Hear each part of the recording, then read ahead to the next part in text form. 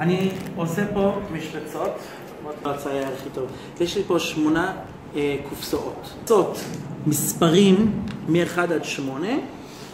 אסור שהזוג אה, ייגע אחד בשני. זאת אומרת, אם שמתי פה 1, אסור לי לשים פה מספר 2. אם שמתי פה 1, אסור 2, לא פה, וגם לא בלחסן, וגם לא בקופסה ליד, גם לא פה אסור לשים 2.